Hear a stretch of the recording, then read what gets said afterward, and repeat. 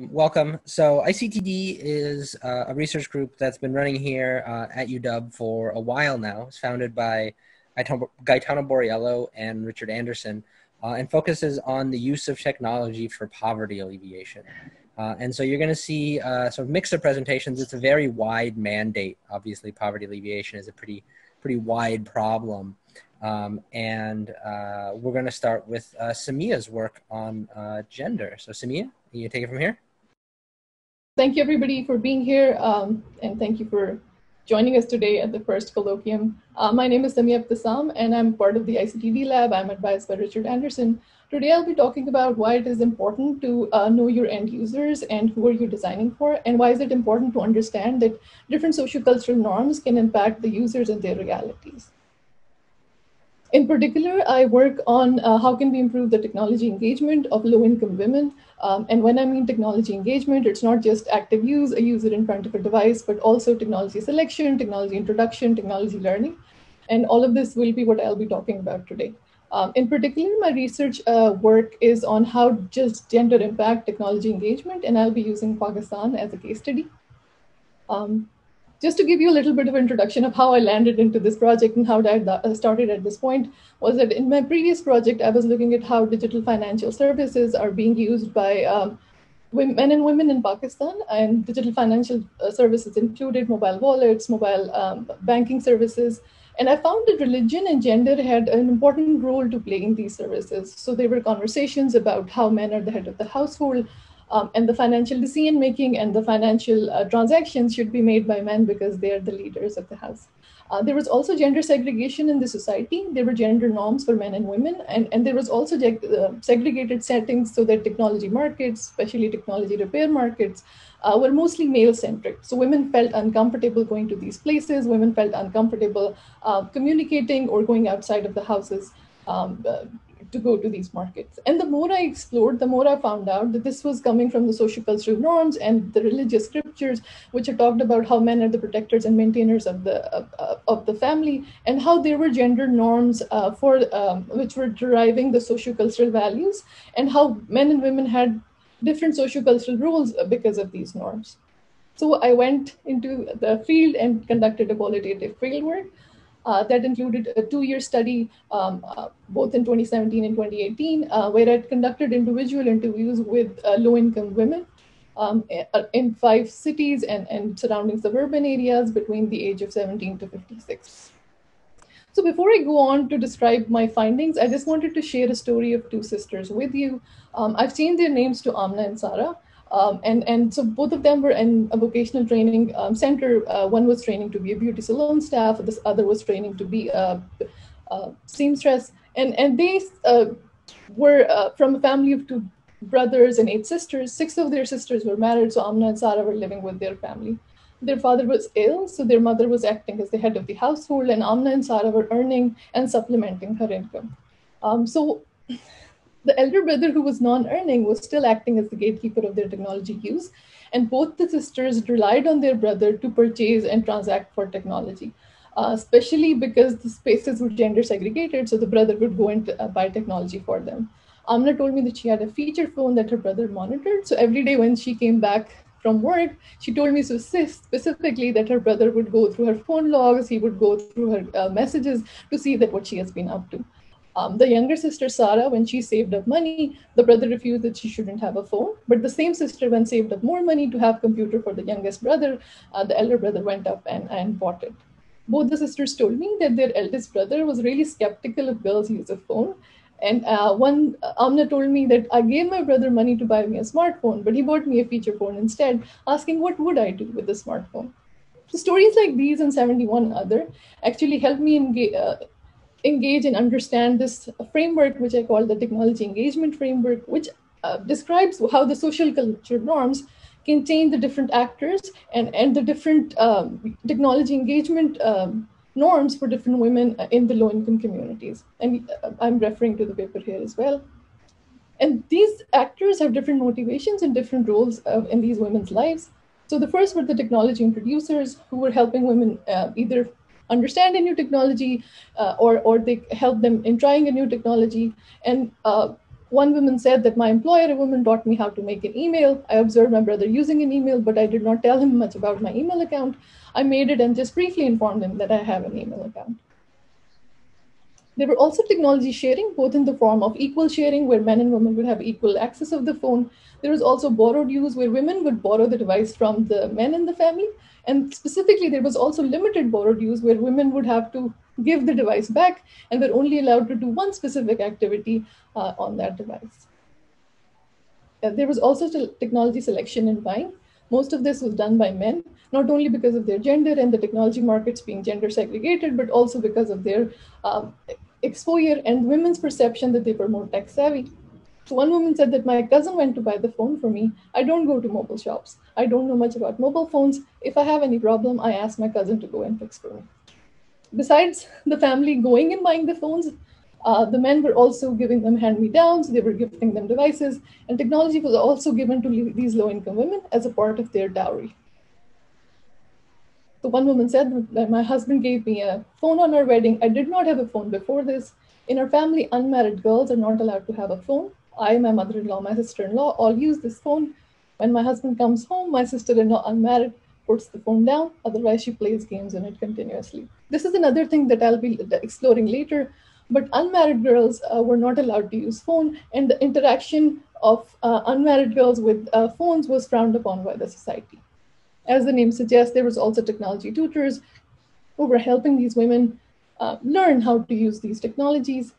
There was also technology maintenance, where not only in the form of technological support, when, which included updates, performing repairs, troubleshooting, but it is also in terms of social support, where the men of the family or the elders of the family would make case for women to have this technology. So one woman said that my husband does that top up, so top up is where you go to a shop and you um, give some money to the shopkeeper to load airtime into your phone. You know why? Because these people later start making wrong calls to you. When they see that a girl has come to get her balance loaded, they start making wrong calls uh, on these same numbers. If my husband go, goes that way, they know that it's a gent's number and not a lady's number. That is why my husband goes for it every time. There was also disapproval of the technology. There were also negative actors in terms of gatekeepers who not only prohibited and monitored their use, but sometimes they also restricted it altogether. So one woman said that my brother deleted my Facebook account. Actually, he told me to end it, so I had to. Then I asked my mom here at the parlor to make me help and uh, to make to help me make an account. My brother does not have an issue with WhatsApp usage or other things. I can even upload pictures on WhatsApp. Another thing that I would like to point out is that these actors and their roles changed based on women's life events. For instance, if a woman was unmarried, uh, the prohibitors and monitors were mostly her brothers and her family. There was also some disapproval from the society. It was frowned that women would engage in interactions with men who they were not related to. And when women would use technology, there was a chance that they would interact with men who they are not related to. This could not only affect their future marriage prospects, uh, but also an image of piety in the society. Thus, cousins and uh, employers only were the tutors and the supporters for these unmarried women. When women got married, their husbands became their introducers and buyers, and brothers changed their roles from being disapproval to now being tutors and supporters. These women still faced some disapproval from their in laws, Women who had young children, these children not only became their borrowed sharer, but also became their tutors and supporters um, to go to the market for them, as well as to train them how to use these technologies. Sometimes these children were also reason for these women to downgrade um, the technology due to damage to the phone. And when women had da- daughters of uh, unmarried daughters of marriageable age, again, women uh, faced concerns not only from their a society or not only from the potential in-laws of their daughters but also their own sons thought that they and their daughters should not engage in technology use because if they would use technology they would again engage in talking to men that they are not related to uh, which is an act that is frowned upon by the society. Women who lived alone then told me that they also feared the disapproval of the society and they sometimes even stayed away from social media or even devices altogether to, make, uh, to maintain this image of good character and piety in the society. So they only relied on their cousins, brothers, and employers as tutors and supporters. So what does this mean for you and me as computer scientist students? We are very much focused and uh, used to this idea of a person sitting in front of a computer and the user uh, that we design for. But this research shows that there are various actors, and these actors also change based on the life events of these women. And it also shows that these actors have various motivations. So we need to not only design for um, everybody around this user, but also their motivations. So when we're designing for women, we also have to design for their family specifically because I was interested in digital financial services, and we are used to this model of one phone, one SIM, one phone number uh, attached to a banking and financial services account. This does not really hold true for these interactions and actors that I've just talked about. So, what does this imply for us? There are security implications because there are multiple devices, multiple transactions, multiple profiles being um, shared across users. It also has design implications for HCI because mostly we're used to designing for one user, improving the usability and learnability for that particular user.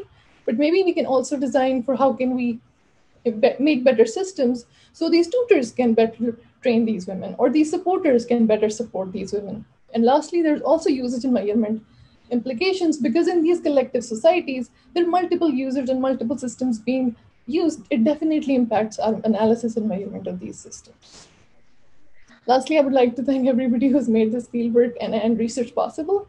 And I've also listed uh, the CSCW paper, which uh, fully presents this work um, in CSCW 2019. So you can also go and look at it.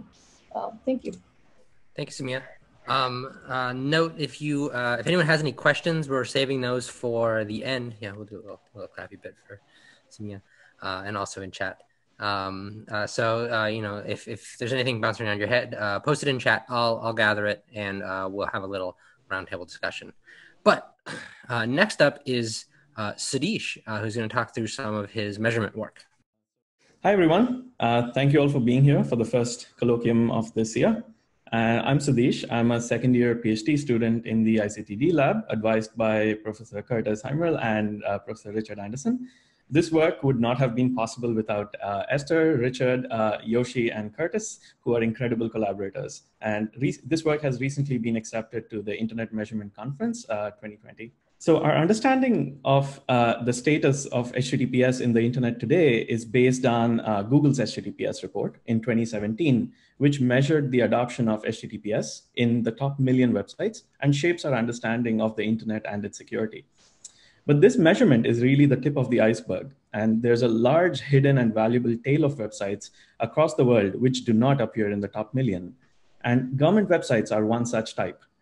Have you ever wondered if government websites enforce better security practices than other websites due to the sensitive nature of personal data or legal information that they could present? Or if the web page could be attacked by a malicious hacker who could serve false information and mislead the public?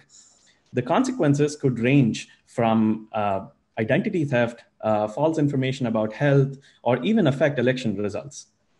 Across the world, government websites are expected to be reliable sources of information, regardless of their you know, average daily view count based on sensitive nature of information, which could be lucrative to steal.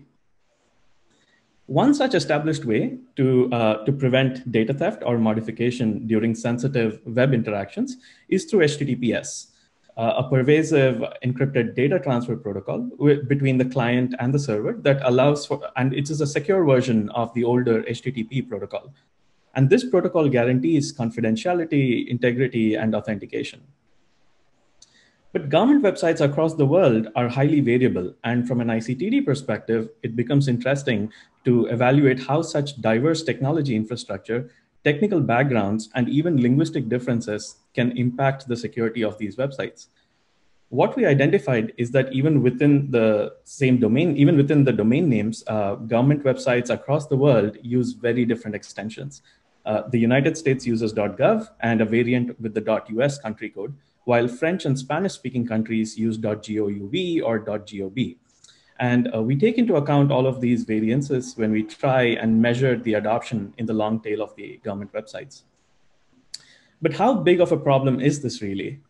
We could perform an active attack on a very popular and important government website within the US and within the top million and serve a picture of a cute cat, indicating how even websites in the top million are actually vulnerable to monster in the middle attacks.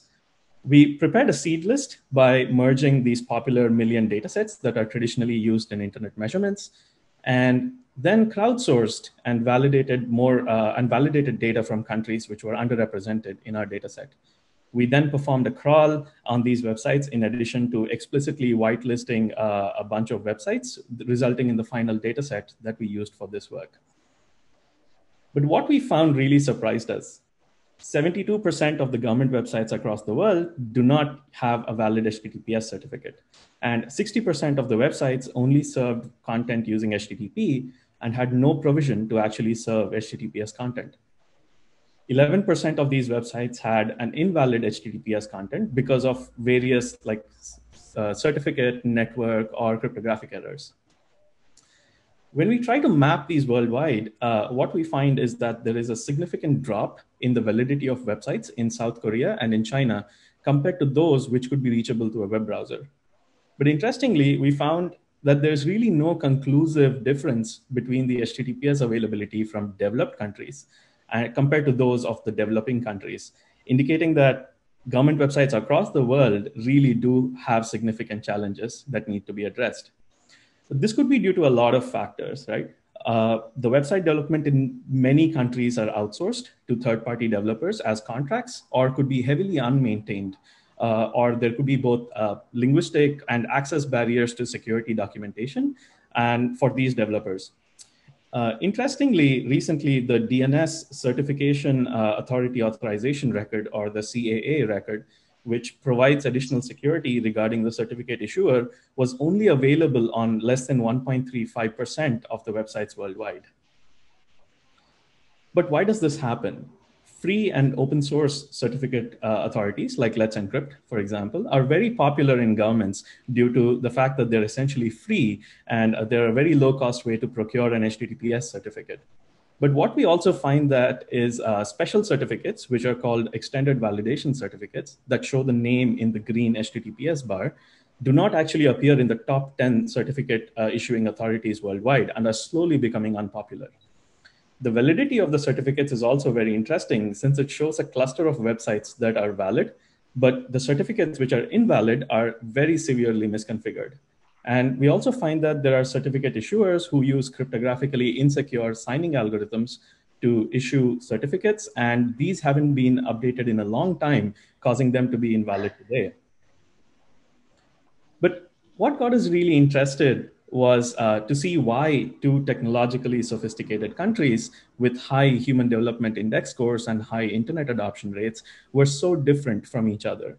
So we went ahead and performed a case study comparing the United States and the Republic of Korea. But historically, South Korea operated their own public key infrastructure for national security. And as the web grew and became more connected and open, the web public key infrastructure was globally adopted, and South Korea joined this really late in 2018 as an effort to make their websites more accessible and reachable by the entire world. But in our measurement, we find that a lot of these websites continue to use the private uh, national certificate issuers who are considered invalid and insecure uh, by all popular browsers, operating systems, and security software because of constant violations that they have committed. But what we learn is that the HTTPS adoption in government websites is below expectations worldwide, and it needs a lot of improvement. This brings us to the next question, really, which is Does the location of hosting such websites actually make a difference? Do government websites adopting the public cloud tend to, make, tend to do better? But what we found was that government websites are majorly privately hosted and do not leverage public cloud or CDN services. But uh, whichever ones actually do show a higher percentage of HTTPS validity compared to those which don't. And this could primarily be because the administrative services of uh, certificate management are actually offloaded to the cloud providers and it reduces any possibilities of misconfiguration. But wait, how different are non government websites to government websites? The answer is a lot even within the top million, non-government websites have more than 50% HTTPS validity compared to 20% that are in the government websites. Also, non-government websites tend to use more public cloud services compared to government websites. We took all of this information, prepared detailed reports indicating the, the websites, the reason for the invalidity, and we sent it to different country government registrars. And we actively could engage with 22% of these governments compared to 5.8%, which were, previ- which were done in previous notification studies. But what we found was that countries with smaller populations tended to be more active in these conversations compared to countries with like much larger populations. But did these conversations really make a difference? Uh, we found two months later in a follow up scan that 62 countries actually showed at least a 10% improvement, while seven countries showed more than 40% improvement in PS adoption worldwide. We then went ahead and made a lot of recommendations in the process and uh, showed countries why they should care with real world attacks that we discovered and effectively stopped. For example, uh, the visa authorization website for the government of Sri Lanka, which is eta.gov.lk, was spoofed by an attacker in Sierra Leone with a similar name, etagov.sl, and with some search engine optimization magic, redirecting all potential traffic of visa applicants to Sri Lanka to a phishing website and possibly identity theft.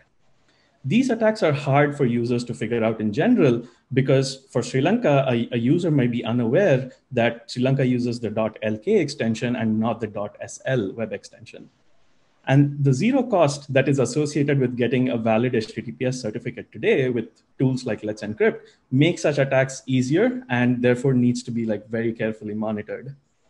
In the typical fashion of the web, government websites across the world are also very heavily interlinked, and they have redirects pointing to other country websites. Any of these insecure links could actually be exploited by attackers, affecting the credibility of these websites.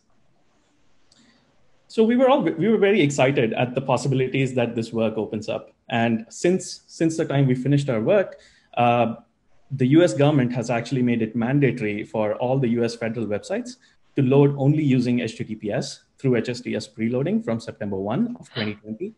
And our work also makes a significant contribution and could help the .gov Online Trust in Government Act of 2019, which is currently a bill in the United States Senate. And it also encourages other countries to actually take active policy and technology steps to secure their websites. Thank you. Excellent. Thanks, Sudheesh. Uh, next up, uh, we have uh, Naveena talking about chat use in uh, some Indian hospitals. Naveena? Thank you, Kurtis. Hi, everyone. I'm Naveena. I'm a uh, fourth year PhD student now, uh, working with Richard Anderson. Um, I'm excited to present our study of chat use in nurses' work, which I'm hoping will be an illustrative example of ethnographic work in diverse contexts in HCI. Um, and this work was done in collaboration with researchers at MSRI, uh, Ding Wang, and Jacki O'Neill. Uh, so in HCI, hospitals have been a common site of technological innovation for decades now. Um, and this is because they're very complex. They need coordination across diverse roles and shifts, and the work needs to be error free, all of which make good communication super important. And yet, even though there are so many communication tools made specifically for hospitals, there's a pervasive use of WhatsApp in hospitals throughout the world. And this is even despite bans due to privacy concerns, uh, for example, in the NHS.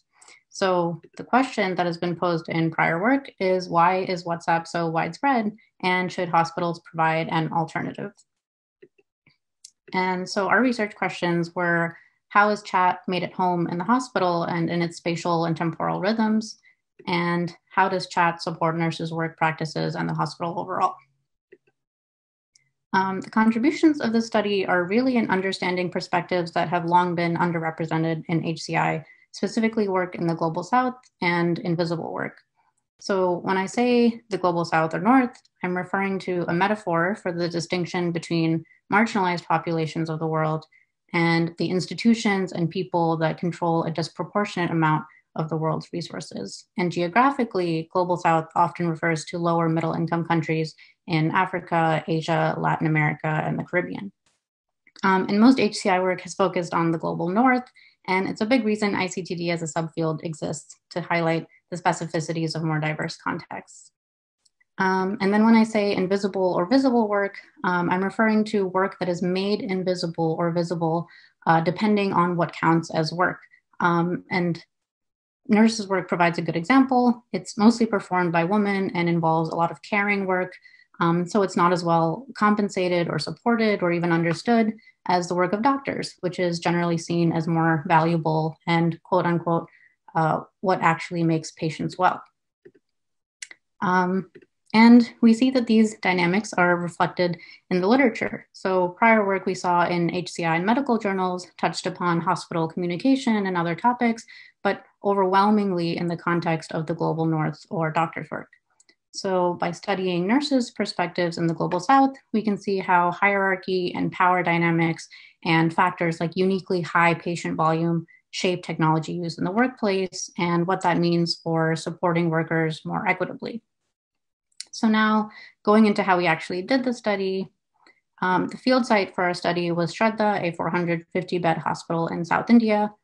And we studied general inpatient wards, or what were called floors, which had different, different levels of privacy. Um, each ward had one to two charge nurses and 24 staff nurses. And some of these nurses were called shift seniors who have additional responsibilities. And here we have the nursing hierarchy. What's important to note is that staff nurses are at the bottom um, and the chain goes up from there. Um, and we also have a timeline of shifts where staff nurses were divided into three shifts and the charge nurse um, only works for the day shift. So um, they only overlap for a portion of the day. Um, we conducted five weeks of observations and interviews, primarily of nurses' work. Um, we observed four different wards. We also conducted interviews with charge nurses, shift seniors, and management, such as HR. And we also uh, conducted uh, three focus groups with shift seniors and staff nurses.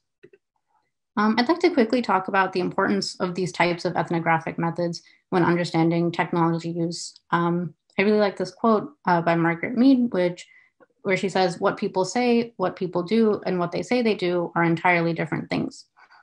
Um, and in HCI, this gets at how, so while there's an expectation that a technology has this or that feature and it'll be used a certain way, how technology is actually used is heavily shaped by the physical and social context of users, which is, you know, also what Samia was getting at. And so our methods of observations and interviews and chat records are useful for teasing apart, you know, what is hospital policy, what are nurses' work practices, and what are nurses' perceptions of their work. Um, so coming to the findings, um, I'll start by describing the overall technological ecosystem. So the hospital was very focused on cost and confidentiality, and this determined which tools workers get to use. So charge nurses, doctors, and supervisors can use uh, you know, email office tools and mobile phones, and so could shift seniors. Meanwhile, the hospital was worried about patient information, information leaking, and so um, staff nurses and other frontline workers, um, like housekeeping or porters, uh, were not allowed to use mobile phones um, and needed to rely on in person announcements or paper notices for news in the hospital. Um, another thing that shaped WhatsApp use is what is like being a nurse at this hospital. So, nursing work uh, broadly consisted of care work, documentation work, and training and learning. And given the high patient volume, um, nurses were super busy and they were constantly also dealing with interruptions that needed to be prioritized over routine work. So these could be emergencies or doctors coming for rounds.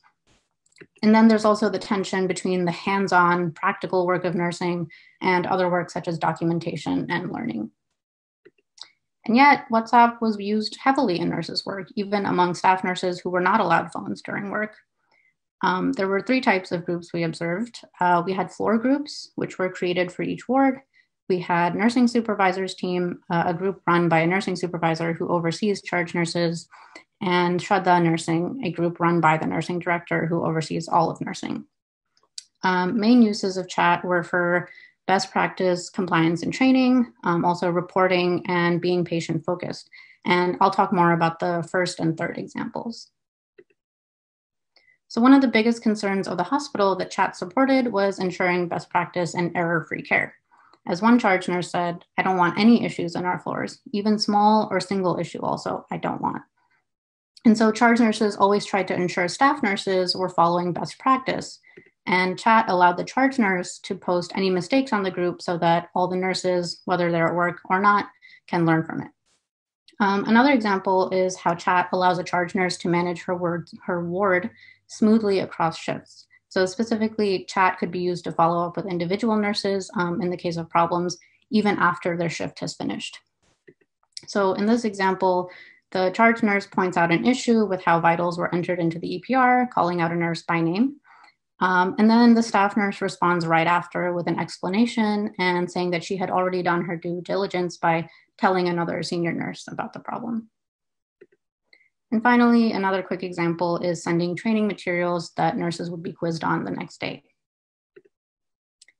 Um, chat was also used to disseminate patient feedback, which was really important for uh, the hospital's goal of being patient focused. Um, so patients can provide feedback, which is emailed to the nursing supervisor, who then shares them through chat on the nursing supervisor's team. And there, charge nurses and shift seniors can see the feedback across different wards. And then charge nurses forward feedback specific to their ward to the floor group so that staff nurses can see it either as a form of recognition or a learning opportunity and this gets at how information takes on different meaning as it goes down the nursing hierarchy. And so connecting back to the value of ethnographic work, um, it allows us to uh, situate chat use in the larger organizational culture and policies. And there were three ma major factors that stood out about the social context. So one was that despite WhatsApp being an unofficial tool, it was used very formally. So, for example, staff nurses rarely post on the floor group by themselves. It's almost always in response to a charge nurse's question. Um, but the fact that chat could match the hierarchy of nursing meant that it could be used to filter information down and make it relevant to people in different ways, like in the case of patient feedback. Um, second, WhatsApp was still a personal tool being used heavily for work, and so this resulted in complications. So, for example, nurses had to handle uh, the many messages that come from being in large groups, and so often had to delete messages to make space on their phone. Um, and another major concern was trying to minimize chat use off duty. So, for example, charge nurses had the luxury of setting aside their phone when they're not at work, but staff nurses were expected to read messages off shift, like in the example of following up with questions um, after nurses leave. And finally, from management's perspective, um, WhatsApp was a privacy issue and they were concerned with how much it was used. And so for them, this was a question of whether they should move to an official app for the hospital. Um, and now returning to the value of understanding perspectives from the Global South and that of nurses, um, one of the biggest takeaways of the study is rethinking worker-driven adoption. So in HCI, um, in the work so far, the idea of worker driven adoption is generally centered around work that looks a certain way. So, usually that of professional knowledge workers or nomadic workers or freelance workers who have a decent level of autonomy over what technology they use, even if not total. Um, but in our context, chat was never formally implemented, but was used as though it was an official and formal tool. And since it was used in this way, it's not exactly clear that individual workers, like the staff nurses, had that much had that much say in whether to um, adopt WhatsApp. And so this really changes the idea of worker-driven adoption as being very equitable and democratic. And so we encourage asking in studies of technology and work, um, what might we notice by looking at the collective effects of adoption and how worker status affects adoption and the impacts of the technology. Um, in our case, we saw that staff nurses' lower status in the work hierarchy um, definitely impacted their use of WhatsApp and their ability to maintain work life balance. Um, because of the restrictions on staff nurses' technology use, they would necessarily have to check uh, work messages off shift, especially if they're you know, given study materials to look over the next day. Um, but even if phones were allowed, uh, chat's still used to follow up after shifts and to do work that's not compatible with the hands on work of nursing. And so this results in a lot of invisible work being done through chat. Um, and so for hospitals like Shraddha that are considering moving to a formal chat app out of privacy concerns, uh, this prevents a presents a dilemma because chat becoming formalized would mean that this invisible work done through chat has to become visible. And so the question is how can organizations understand and take into account the work done on such tools? Thank you so much. Thank you, Naveena. All right, our last speaker up is uh, Matt Ziegler, who's going to talk about his work in Kenya. So, like Kurtis said, I'm Matt Ziegler, also in the ICTD lab. And in this week, we were working with Ol Pejeta Conservancy in Laikipia, Kenya. And uh, this paper won best paper at ACM Computing and Sustainable Societies this year to toot my own horn. Um, you might have seen Ol Pejeta in the news in 2018 when the um, last male northern white rhino died. Right now, they're the they're best known as the refuge for the last two northern white rhinos on the planet. Um, the conservancy is surrounded by villages on all sides, many of which are pretty impoverished, but still nearly everybody has a basic cell phone. So in this work, we're trying to use basic phone technologies like SMS and USSD menus to open communication channels and to try to meaningfully engage with Ol Pejeta's surrounding communities. So why do we want to do this? The motivation is that conservancies everywhere are increasingly recognizing that their boundaries are porous and that they need to work with locals to manage shared resources like water, soil, and pollinators. Um, human wildlife conflict is a major problem that threatens local people's crops and livestock. It's also really common for environmental institutions everywhere in the world to have tensions and conflict with local communities, sometimes because of really ugly colonial histories and unfair treatment of local people. Oh, sorry, I have a loud plane flying by. Um, but local people often have different goals than the conservancies. They lack decision-making power, and they're often made benefits of are made promises of economic benefits from conservation that they never actually receive. This region of Kenya has seen these tensions play out in particularly ugly ways, with some politicians campaigning against the conservancies and armed raids by pastoralist groups during some severe droughts a few years ago that resulted in the deaths of a bunch of conservancy workers. So, for their own survival, these wildlife conservancies everywhere are recognizing that they need to work with local communities to build good relationships and to strive to fairly share the costs and benefits of conservation. Um, Ol Pejeta is a regional leader in their community development work. They primarily hire local people, they hold regular open community meetings, and they communicate with local leaders daily. They invest tourism money in projects for education, health, agriculture, resource management, and other things. Last year, they invested about $600,000 USD into these community development projects. Uh, so where do mobile phones come in? Communication is a big challenge with all 35,000 people who live on Ol Pejeta's borders. The Conservancy's formal protected area is pretty big. It's about the size of Seattle. And the roads are pretty bad, so oftentimes travel between the different communities is difficult. And it's hard to keep people up to date on Ol Pejeta's community projects when things are changing all the time. Also, a lot of people don't really understand the mission of the Conservancy. Like they think it's mostly just to make money from tourists. Um, and some people there don't even know that they have the world's last two northern white rhinos. And this is like when you're living right next to here.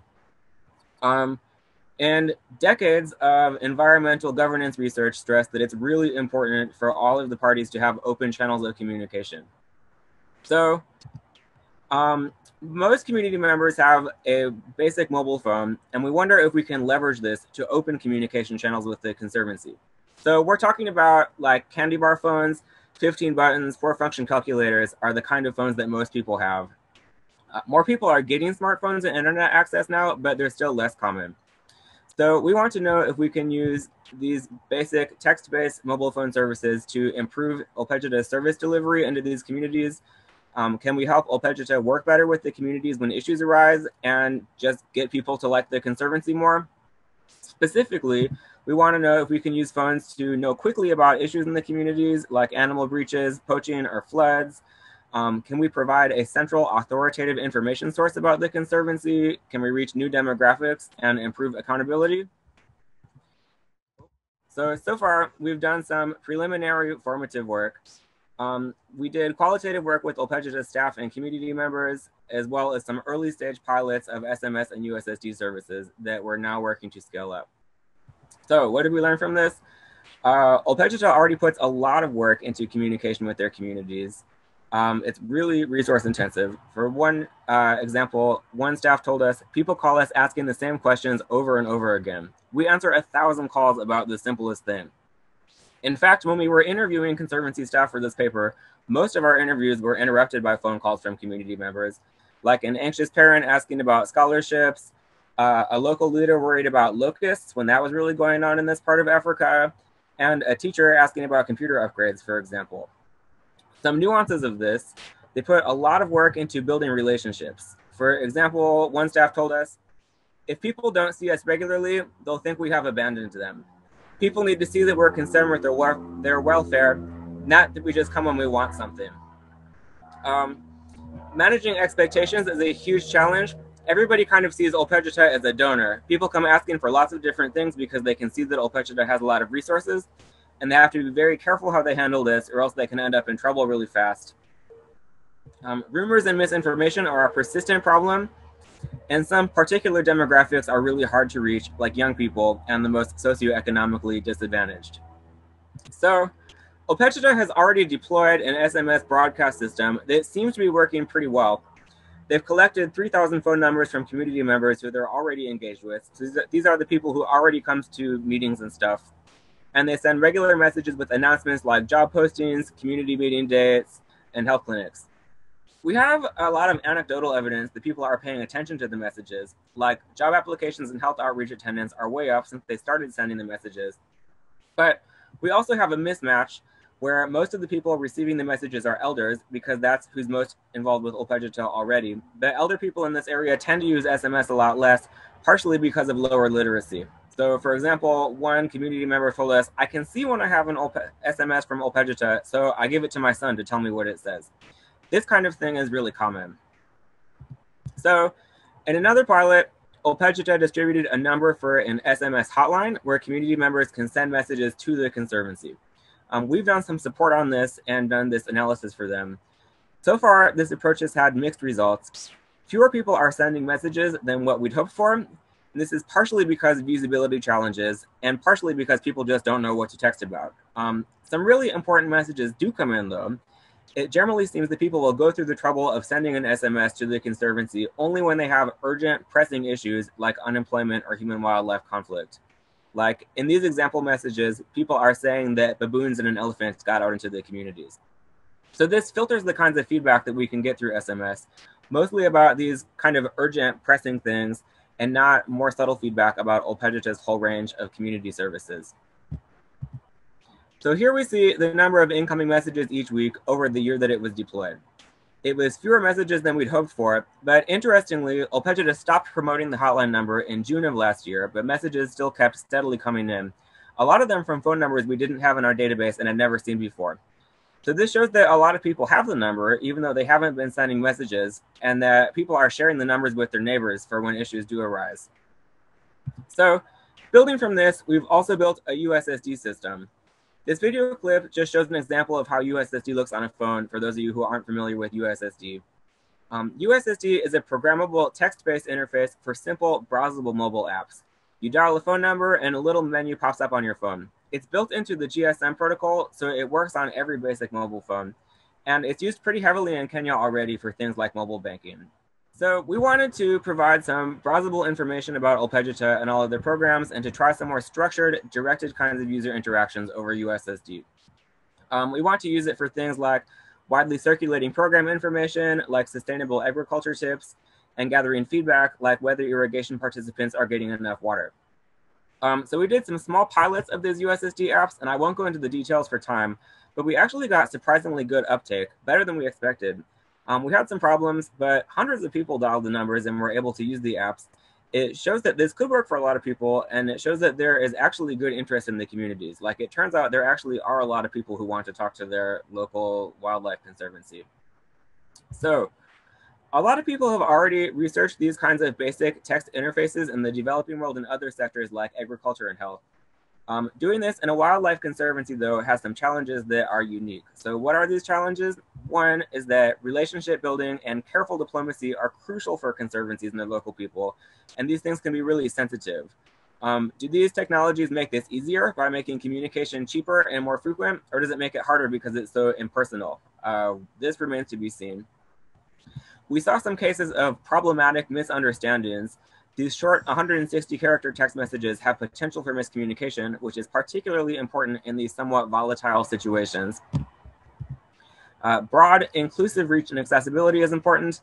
A lot of environmental governance research shows that the whole thing can fall apart when you exclude key stakeholders from the negotiating table. So it's important that these things are accessible to everyone. There are security issues. Um, a lot of these topics are pretty sensitive, especially the Conservancy tries to encourage community members to give tips on suspicious activities that could be poaching And mostly people really don't want to talk about this over the phone because they don't want there to be any record of the communication. People only want to talk about this in person. So we need more work to understand like what role technology can and cannot have here. And lastly, a lot of conservation institutions simply don't have an IT staff or have the technical capacity to deploy something like this. So for future work, um, right now we're working on recruiting more users and scaling this up. We've just kind of gotten unblocked where IRB and Kenya's rules around COVID have loosened up enough for us to get moving on this again. So this is where we are right now. Um, we have a lot more design and system building work to do. Just uh, what kinds of program design and messaging strategies work best. From our formative work, we think that phone services could be a key for engaging young people who the Conservancy has struggled to reach. This will be a key focus going forward, uh, how to design programming for them. And eventually we need to do some more rigorous evaluation work to know if we can confidently recommend this approach to other conservancies. Like, does this actually do anything to improve relationships with the communities? Um, uh, is it cost effective? We've partnered with some political scientists at UW for these questions. And lastly, we need to figure out how generalizable to other conservancies this is, where situations are different. How can we adapt this to other models of community engagement?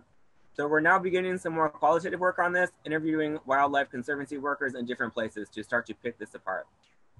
Thanks. Okay, the last thing I want to say is to make a plug for Ol Pejeta's Conservation Technology Lab. So uh, at this conservancy in Kenya, they partner with external researchers, probably like you, like most of the people in this colloquium, uh, to work on technologies for wildlife conservation. So they have LoRa and Sigfox networks deployed covering the whole conservancy. They're doing computer vision stuff to monitor wildlife for anti-poaching and security. Um, we have another project with Bikram, Sham, and Timothy from the Mobile Systems Lab working on tracking devices for the rhinos where the devices need to be really tiny and the batteries need to last as long as possible so they don't have to be darting the rhinos all the time to change the battery. Um, so if you'd like an introduction to uh, the people at Old Ol Pejeta's Conservation Technology Lab, or if you just like to chat about my experiences there, please reach out. Don't hesitate. Okay, that's it. I'm done. Thank you. All right. Thank you, Matt. okay, so uh, this is a small sampling of uh, what is, I think, clearly a very diverse set of research happening in our lab. Uh, we have a few moments for questions. Uh, my Zoom unfortunately crashed in the middle, so if you did ask a question during Naveena's talk, I missed it. Uh, but otherwise, uh, please either post in the chat or just start screaming at the top of your lungs with the uh, Zoom unmuted, and we have some uh, some discussions. All right, so we see Nathan Hatch asking Navina, could you explain again visible versus invisible work? Yeah, so um, Yes, I'm glad you asked. It was like one of those things I wish I could have explained in a lot more depth because there is a lot more depth to it. Um, so it's kind of so HCI in general has studied how people work quite a bit. And so the idea of visible and invisible work um, is sort of a framework for understanding what you can even understand about work when you observe it. Um, so, for example, um, in like taking nurses as an example, um, their work is invisible in the sense that there isn't really a there hasn't always been a study of nursing, for example. There hasn't always been nursing education or nursing research. That's something that's actually pretty recent. And before that, nursing was kind of lumped in with you know general hospital operations that are happening in the background while doctors are doing you know medical work um, and so that is an example of how nursing work has was um, in the background where while uh, medical work um, was foregrounded in the way we saw how you know hospitals function and what makes patients well and what makes medicine work. Um, does that start to answer the question hopefully? Uh, i'll assume so. Yes nathan says yes. All right so jennifer uh, rog name cut off unfortunately by Zoom, uh, mentions, oh, now I'm getting all this stuff. Uh, it's for Matt. Uh, you mentioned the importance of accessibility and engaging all stakeholders and also mentioned challenges with SMS messaging because of low literacy for certain demographics. Have you considered ways to engage people with low literacy? Yeah, so um, so we are thinking about trying to do more uh, voice-based things like IVR. So IVR is like if you ever like called Comcast or whatever, and it, it talks to you like press one for blah blah blah, press two for da da da. These kinds of voice-based services. Um, but then also we're so uh, the kind of the communication, the infrastructure that Ol Pejeta already has. Um, works like for kind of older people who tend to have lower literacy what they have already is is mostly working. So um so we're also kind of of pivoting our focus to younger people where the the literacy is less of an issue. Cool. All right. Um so the next question is also for matt. Um this is from Dan uh, Grossman. My possibly wrong impression is that some conservation work is roughly paramilitary out of necessity militaries have their own approach to communication in the field. Is any of this relevant? Um, yeah. So it's definitely paramilitary. You have um, in the kind of among the the rangers and things, they have um, like they hire military contractors to do all of their communications. So they have all of these like really secure encrypted radios and things. Um, and and kind of where I've seen the it's kind of siloed where the community work is is like in a different department doing different stuff than the the like security work. But then also um a lot of the rangers do come from these communities and and most poaching and conservancies is is inside jobs. So they're also really worried about um like who has access to what information on the security team. They try to keep it like really centralized, like who only like a handful of people actually know where all the rhinos are. I don't know. Does that kind of answer the question? Yeah, kind of. It's interesting. I mean, militaries often, you know, care about like community engagement, right, and stuff like that. And so I'm a little surprised. I guess it makes sense that it's so siloed, but maybe it's a little more siloed than I would have guessed. But yeah, that it does make sense. Thanks. They do have um, I was trying to interview the security people more about like how do because they do get information from the communities about about poaching stuff and understandably like they were like really didn't want to tell me a whole lot about that. I understand they just kind of have a kind of like a few key sources in those communities and they really work hard to keep those relationships open it's not that they're like just getting random tips from everybody all over the place like they have like a kind of a, a handful of key informants out there that they really work with closely okay uh, so kurtis had to step away and i can take the i can uh, read the last question for Naveena. Uh, so uh, Vikram has a question for Naveena that what did the hospitals end up doing? Did they build a custom app or are they still using WhatsApp? The hospital was actually interested in using Kaizala, which I think is actually being phased out now, but it was an app uh, developed by Microsoft that kind of like better met the specifications for um, hospital communication and was also useful in in that um, it was a little bit more programmable so that there could be different functionalities embedded within the chat that could actually support potentially nurses work um, a bit better um, and that was those were actually designs that we presented to them, um, which I hope also for them drove home the value of um, ethnographic work in uh, understanding how technology can support nurses. Yes. Oh, so so this is for me. I love your research and thank you for talking about sharing devices and social tech. Um, what would you say is your most surprising revelation? Um, I think the one thing that I wasn't expecting and I um, saw in this research was the effect of marital status. I, I had not, uh, because I think most of the Western context, we cannot, I, I cannot imagine like my brother telling me, hey, put down the phone or show me what you're doing. Uh, but I think there, there was this assumption of how um, marital status can affect what women can and can't do with phones, what they could do on social media. There was also conversations of you can't upload your photograph, you can't upload your face, uh, a picture showing your face. And, and that's something that was, uh, most surprising to me of how uh, family members um, can dictate what you can and can't do, and also how marital status affects like who can dictate and who can't dictate that. Um, so that was the most surprising for me, uh, definitely. Thank you. Thank you. Thank you so much, everybody.